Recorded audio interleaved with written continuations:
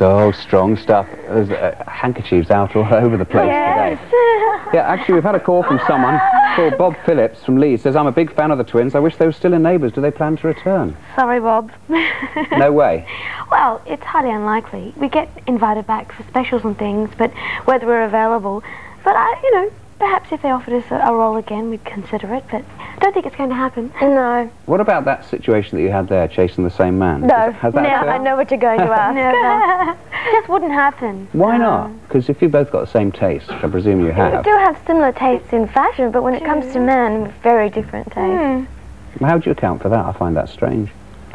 I have better taste. I knew you'd say that. So, yeah, what about your taste in clothes?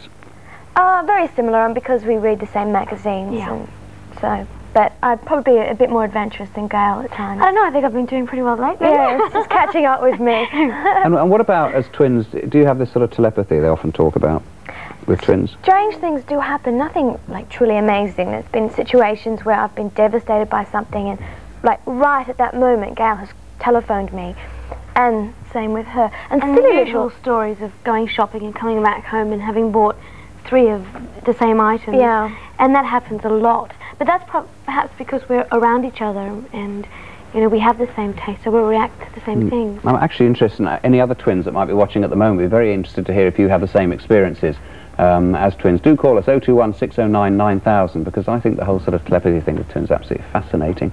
And you also don't, don't you believe in this third eye, Um, which you better explain? Yes, I mean, if you're referring to the article that was written about us, um, it made us out as... White well, witches. basically, when I went to collect the paper that day, my newsagent said, oh, you're going to stick needles in me?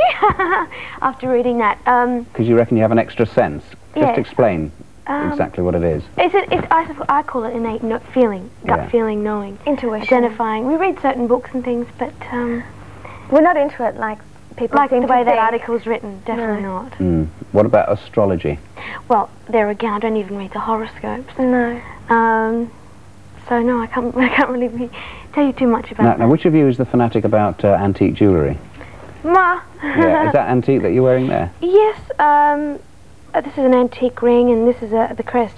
This ring here, uh, it goes back to 19. Oh, I'll show it to you. Sorry. Yeah. Is that better? Keep it still. to, That's to it. 19, whoops, 1937 and 1939.